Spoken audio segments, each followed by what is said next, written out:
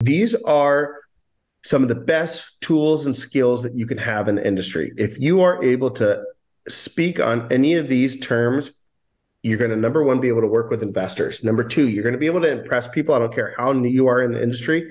If you understand this, it's going to land and it's going to come really well. This is also fantastic for objection handling because a lot of the time when people go think of like, oh, this is too expensive, I can't afford it, all these obstacles they'll put in their way mentally, if you understand the workaround for them, you're going to alleviate some of their biggest fears. The three things we're going to be touching on are the IRS 121 exclusion, the Prop 19, and the 1031 exchange. I'm going to try to simplify these down to a very simple basis, and we'll take it from there. I know that this is going to be a tedious presentation. You guys probably can sit there right now and think like this is going to be long, kind of boring. Try to bear with me on this because if you understand these concepts, it's going to help you so much. Before we get into the IRS 120 exclusion or the 1031 exchange, first and foremost, we need to understand what capital gains are. What is a capital gain? When you sell an asset for more than its basis, aka what you paid for it, all the additional income is a capital gain. And my example on here is this Susie bought a ring for $10. Susie sold the ring for $15. Susie made $5 of capital gains. Now Uncle Sam wants his cut, right? That's where capital gains taxes come in. Basically, the money you made is your capital gains after receiving a capital gain, you're going to be taxed uh, both on the state and federal limit. Usually, it's around 34%. Now, I said the ca- the rate of capital gain is going to be based on the income level. Basically, what I mean by that, and not to overbog you down, is some people can offset capital gains with losses on their taxes. Let's say they sell something for less or lose money in some venture, they can balance it around. General rule of thumb 34% of all the money that you make for profit on something is going to the government. An example of that, Susie bought that ring for $10 and she sells it for 15. Susie has a $5 cap gain. Susie has her original $10 and $5 of capital gains. Now Susie owes the government $2 of the newly earned $5. So even though she sold it for 15, Susie's only able to keep $12. Bought it for 10, sold it for 15. Pockets, actually, pockets $13. Sorry about that. But we're talking really rough math here. The IRS 121 exclusion. When selling your principal residence, if it's owner occupied two of the previous five years, and what I mean by that, hey, I've lived in the home for eight years, that applies. Hey, I lived in the home and I moved out one year ago. Well, you've lived in it for the last five years, that applies. Hey, I lived in the home and I moved out two years ago. That still applies, but you're starting to get to the very tail end of it. Those are people that are owner occupied for two of the previous five years. A single person would be able to get a capital gains tax free of $250,000. A married couple would make $500,000 of capital gains tax free. An example of that Joe, a single man, bought a home for $500,000 and lived in there seven years. So he's he's lived in it two of the last five years. Joe sold his home for 800,000. So $300,000 in capital gains. The IRS 121 exclusion allows Joe to set aside $250,000 of his taxable income. Joe owes capital gains on the unprotected $50,000. So if Joe was married Joe and his spouse sold the home for 800,000, they would have 500,000 of capital gains tax free. So that 300,000 they made capital gains, they'd get to keep all of it. That's the IRS 121 exclusion, specifically for principal residences, owner occupied principal residences. So if you own your home and you live in it, you don't have to necessarily pay all the profits on capital gains. Who does this pertain to? Sellers who are worried about taking a capital gains hit when they're selling their property. This is a huge thing. People say, well, I lived in it, I made a lot of money, but man, I'm going to owe the government a ton. Well, let's think about that. You you bought it for a million, you put a hundred thousand into it, your basis is 1.1. Um, if we sold it for you know 1.8, you get that 500,000 capital gains tax free. That puts you at 1.6. You're only paying capital gains taxes on the remaining 200,000. Which is really going to work out to be about $64,000. So you're going to be able to walk away from the whole transaction for 1.8 less the 64 grand. That all of a sudden alleviates all their fears because a lot of time they're assuming, hey, I'm going to pay 34% of the whole entire 1.8. No, you're only paying the 34% at the very end. If you're able to clearly explain that to somebody during that process, it's a huge hurdle over an obstacle. Sellers who moved out of their property within the last three years, I am going to ring the bell and call the alert for all of our investment partners here.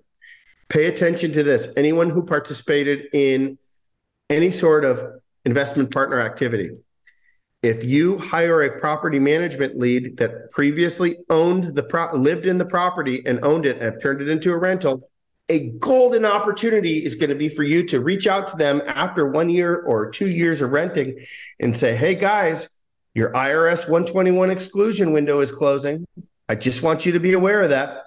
Where you as a married couple could sell your property for $500,000 in excess of what you you purchased it for your basis is, and you could keep all that profit. Because after you've not lived in the property for two of the last five years and it's been a rental for, for too long, that's gone out the window. This opportunity has closed. It's no longer your principal residence. So, red alert to anybody that's hiring or, or finding property management leads. If they owner occupied it, mark that on your calendar to reach out to them and tell them about that 121 exclusion that's going to be, you know, whittling away. Or if they're considering selling the property now versus renting it, that's another great thing to talk about. Hey, well, if you turn it into a rental, sure, you could make monthly income, but keep in mind you made all that money right now and the government won't take it. 1031 exchange is a real estate tool that allows investors to swap from one investment to another and defer capital gains. Essentially, you're able to take the equity from one cup and pour it into another cup and you're not going to be penalized for that paying paying the government on the money you made the 1031 exchange was created to incentivize landlords to continue to be landlords and continue to keep their money in the market and house people. An example of that jim sells a rental property he originally purchased for $100000 for $500000 if joe goes to sell it and decided to keep the proceeds he would have capital gains on the $400000 and that we're talking about 34%. So he's approximately paying 130 grand on capital gains taxes. If, if is my math right on that? Somewhere in that general vicinity. Instead, Joe does a 1031 exchange and moves his $500,000 of equity from one property into a new investment property for $500,000. Joe doesn't owe the government anything. He's basically exchanged the equity from one into another. This is hugely advantageous for anybody that wants to, let's say, cash out of a single family home and move it into a better cash flowing asset, anything along those lines, or buy an investment property that's going to also turn into a retirement home down the road or a second home by the beach. These are a really useful tool to use. Exchange. Now, let me tell you about Boot. Boot is basically the money that's left over if you your exchange doesn't match numbers. The original property sale price exceeds the cost of the newly acquired property. It's called boot. And an example of that, Joe bought that property for 100,000 and sold it for 500,000. Jim did a 1031 exchange to avoid capital gains taxes, but the property he ended up purchasing went for 400,000. So he had 500 in this cup and he poured 400 into the next cup. And the remaining 100 grand he was going to keep in his pocket. That 100 grand is boot and that is subject to capital gains expenses. So 34 grand to the federal government and the state government. Key things to know in a 1031 exchange. It needs to be like kind like kind is terminology that you're going to hear used thrown around quite a bit. In order to do a 1031 exchange, you must exchange into a similar type property. And it must be a rental into, simply put, must be a rental into a rental. Now, there are some outside forces on that, but just to keep it simple for yourself, just buy a rental into a rental. You could sell a single family home and buy a multifamily. You can sell a multifamily and buy a single family home. You could sell a commercial property and buy a residential property. That's not the concern. The concern is that you rent it out it was a rental beforehand, and the new one is also a rental. 1031 exchanges can only be income properties. Owner occupied properties do not apply. And in order to fulfill the 1031 exchange, you must keep and hold the newly acquired property and use it for its intended rental purpose for two years. Now, this rule is not black and white. And what I mean by that is intention. So the federal government is not going to say, you didn't have it for two years when you had a change in life circumstance and had to sell it to pay for XYZ. Uh, I'm going to tax you on it. That's not exactly how that works. Definitely defer to an accountant on that because everyone's going to be different. The intention is that you own it for two years and keep it as a rental. You can exchange into a property that's more expensive, but you have to pay the difference yourself. An example of that uh, you sell a hundred thousand dollar rental and exchange it into a hundred and twenty thousand dollar rental. That's fine. No capital gains. You just have to pay that twenty grand difference out of pocket and or with a loan. There can be boot implications if mortgage numbers and equity spent aren't done correctly. So make sure to consult with a 1031 exchange company before doing offers to ensure there's no boot. Long and the short of it, guys, you are a realtor. Your job is to sell houses. It's fantastic to know these general tools, but do not confuse yourself as a certified CPA or a, a tax preparer. You have to generally understand them and then connect them with an expert that knows these things through and through. But with the general understanding is always good. Long and the short of it, always consult with an expert. Always tell people to talk to their accountant. Always talk to the 1031 exchange intermediary in between. Independent third party. So while doing a 1031 exchange, you you never actually take possession of the proceeds of the original sale. Basically, there's a, always a third party that takes the funds from the original sale and gives it uh, on the, your behalf to the next purchase. That's called an intermediary. Now, a realtor is not an intermediary. Your title company is not the intermediary. There are 1031 exchange companies where you literally hire them to take in the funds and be the intermediary and fund the next purchase. Typically, 1031 exchanges are reasonably affordable. Think a thousand bucks, maybe two thousand bucks. They're they can get more complicated in a reverse 1031 exchange. Don't worry about any of that right now. I don't want to over bog you down. Timeline for a 1031 exchange from the close of escrow of your original property. So Daniel here just sold or put listed his house property for sale. We're not counting any timeline yet. He's accepted an offer. No timelines are getting counted yet. Property closes. Boom. The shot clock has started. Daniel has 45 days from the sale of the original property to name three targets of your 1031 exchange. Meaning he tells the 1031 exchange company, I want to buy 123 Main Street, 124 Main Street, or 125 Main Street. Those are my three targets. He has 180 days from the close of escrow of his original property to purchase one of those three targets. Now, in all practical terms, if I do, I do usually about five to eight uh, 1031 exchanges a year. The moment I list their property for sale, I'm immediately going and looking for new homes. And ideally, I want to have something in escrow immediately. I mean, like prior to the close of the original one, just so I have a backup thing in place now, or at least know what my targets are. You can shop up into the deadline, but just understand people who get caught waiting to the very end, they end up having to buy something that they don't want to purchase because their timeline's running out and they don't want to give the government all that money. Reverse 1031 exchange. This is going to be super complicated. It's almost impossible to do with a loan and and for for all intents and purposes it is impossible to do with a loan. So it's pretty much only for cash buyers. My suggestion is to avoid this at all costs. Don't go suggesting this out to people because it's going to be very very complicated. You can do the entire things backwards. You purchase the new replacement property and have 180 days to close your original property. So you still need to use the 1031 exchange company or the third party third party intermediary you need to identify your intentions of the reverse 1031 exchange on the original purchase. So you basically say, buyer is going to be completing a 1031 exchange on that document. It's more expensive to complete a reverse 1031 exchange oftentimes costing $5,000 up to ten thousand dollars to do that reverse exchange. And it's more complicated with the holding of title and ownership because remember, you never actually hold both properties titles at once in an exchange. So theoretically, the intermediary would create an entity that owns the new property originally when you purchase it. And when you sold the old ones, they'd swap the funds, et cetera. Not all lenders participate in a reverse 1031 exchange. It makes it incredibly complicated. I've had some avid serial investors that get absolutely stumped by this. So don't don't proposition this as like, hey, we should just do a reverse exchange because it's pretty complicated. How does it apply to you as an agent with this 1031 uh, exchange? Sellers who have a single family home and buy better cash flowing multifamily. I can't tell you how great this is, guys, especially those of you who are doing the investment partner stuff.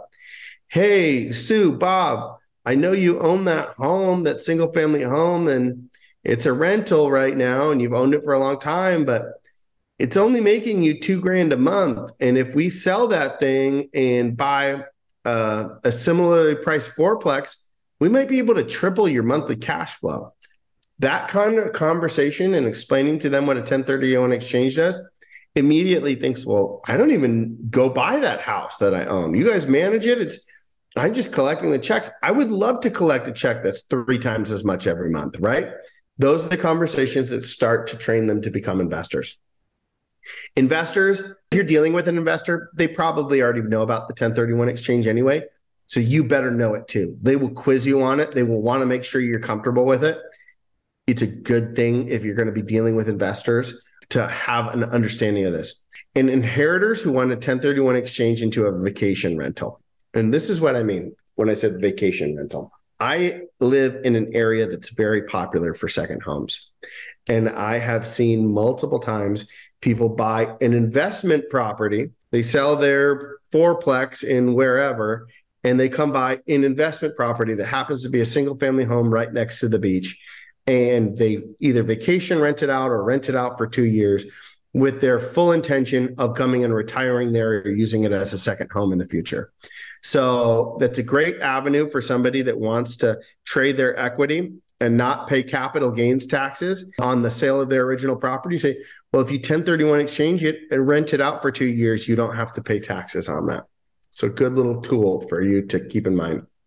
Prop 19. When I wrote this, I think I was being a little bit exagger- exaggerating a little bit, but uh, Prop 19, the death of generational wealth in California real estate. I uh, you can you can see how I feel about this. Prop 13 was a thing where if you purchase a property at your tax basis, you would keep it at that tax basis. If you left it to your heirs, they would keep it at that tax basis and generations and generations and generations.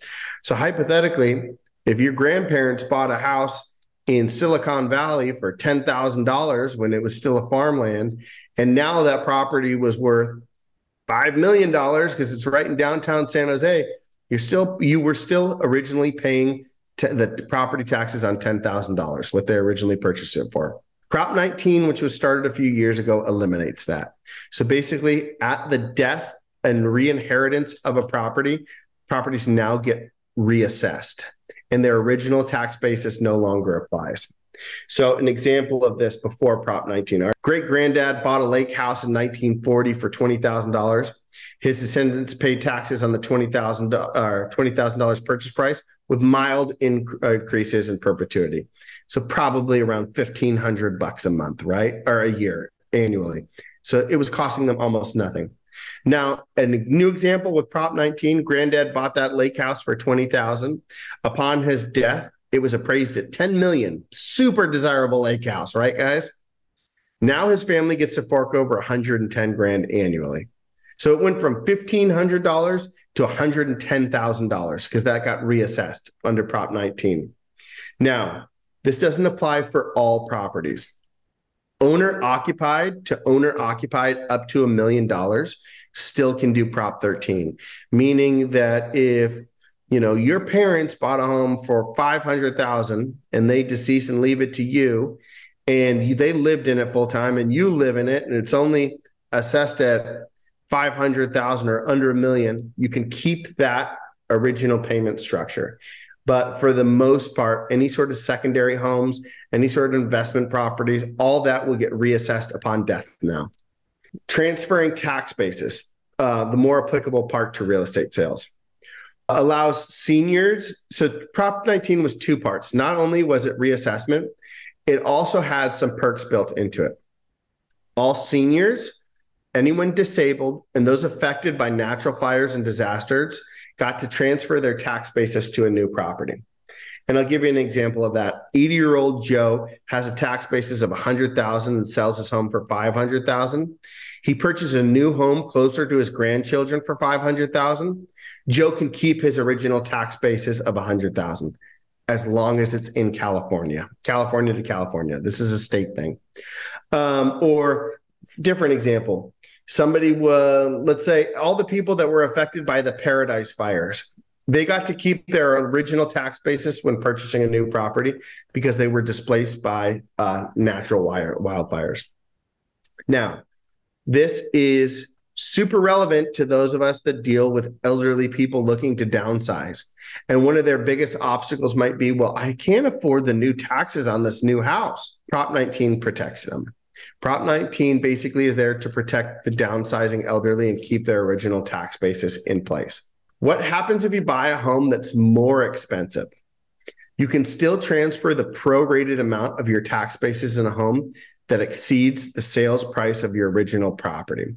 You just need to pay the difference. And what I mean by that is this. Amy has a tax basis of 100,000 and sells her home for 500,000. She purchases a new home in California for 650.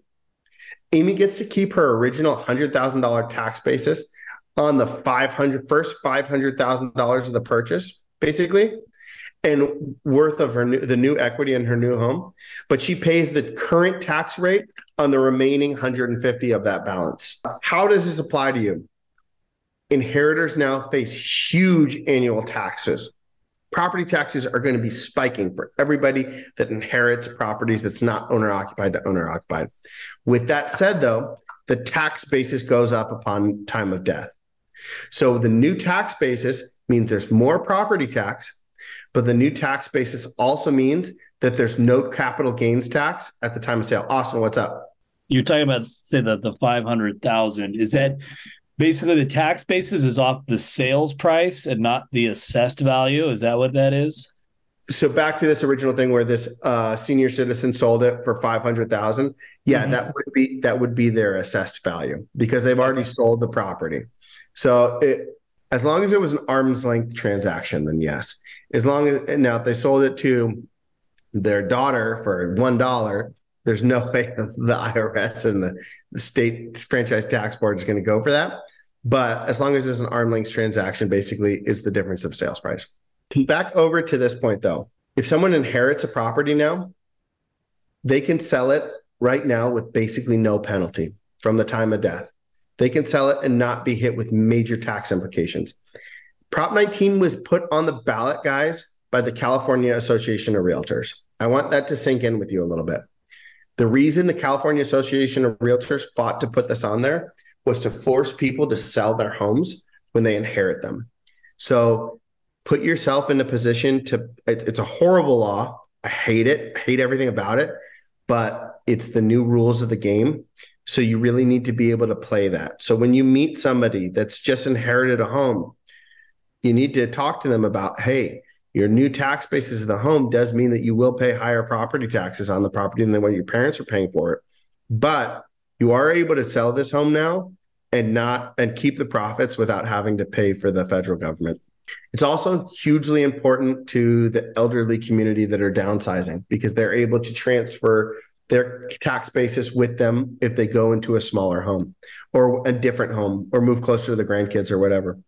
And people who have lived in their current property for a long time and fear the consequences of moving, this is super important for them. Understanding the different laws, regulations around Prop 19 and what their tax basis will be. This is going to be my summary of all these things the Prop 19, the IRS 121 exclusion, and 1031 exchange. This is how it works. Now go verify with your accountant. I want to stress this. You are not a tax expert. You just know how this works. So don't get yourself sued because you give somebody bad information. It's important to have a loose understanding of these terms. The better you, your understanding, the better it is. But always have them verify with an expert. Always defer to the expert. You're not an accountant. You can explain the terms to the best of your ability, but they should verify all the information with somebody that knows this and does this professionally and even in emails to them. It's never seen as a bad thing to tell somebody to go verify it with their accountant because it's a transparency. It's a level of transparency. Hey, you need to verify this with the person that's preparing your taxes. Sending links and sources to potential clients can be helpful. Bringing these options to their attention and pointing them in the right direction to gain more knowledge is all it takes. All we're here to do is understand these basic information points and then be able to let people know about them as a, a hurdle to their obstacles. Okay, that was the overall run through. Do I have, do you guys, anyone have any specific questions on this, on any of the terms? All right, Daniel, what's up? So if you go back to the first one where you said they paid twenty thousand dollars for it, and then now it's worth ten million, and they owed a hundred and twenty something thousand, right?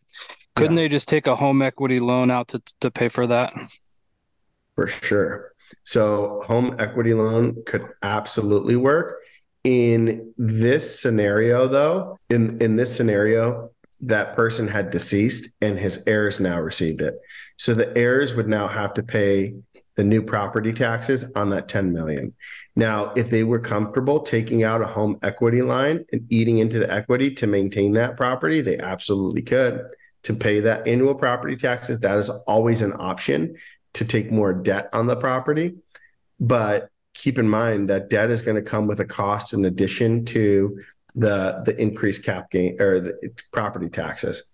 So it's a really a, kind of a gut check decision for them. Is it worth me paying $110,000 or whatever, some extravagant number in property taxes and paying the interest on that home equity line for me to maintain that property? Or is it more suitable for me to sell the property and use those funds elsewhere? No one has to do anything, right? You just want to arm them with information to make the best decision for themselves. But yes, you can also tell them about home equity lines. Not a horrible idea. Debt is good too. the exclusion. Do you have to purchase another home? No. Okay, so you can just cash out. You can cash out and go become a renter. Doesn't matter at all. That's okay. that's your money. You can you can YOLO it all in Vegas that afternoon. Doesn't matter. You can do whatever you want with it. March Madness. Or on uh, the capital gains percentage that is taxed. Is there a website we can go find to see like what the different brackets are for different amounts that you'll have to pay or state and federal? I want to I want to say uh, total is like 34%, but if you just do a quick Google, uh, cap gains rate, federal rate, cap gains state of California rate. It'll tell you, and it comes up. I believe it's 30, it's 33 and one third, 20% on the federal, 13 and a third on the state. So if your capital gains is five or 50,000, and then your capital gains on another property is 5 million, is it the same percentage taking out of each dollar amount? Yeah. Yes, it is. Okay. Now, when I was saying it doesn't, it matters it, on on your income level and everything is some people can offset capital gains with losses. So let's say somebody is holding a property and they're claim or something, some asset, and they're losing hundreds of thousands of dollars on it per year or writing off. They can offset those cap gains on loss years and basically offset that. But yeah, you're gonna they're gonna be hit 34% cap gains. And that applies to all things, not just real estate. So, in theory, if you sold your car for a massive profit, you would technically owe cap gains on that.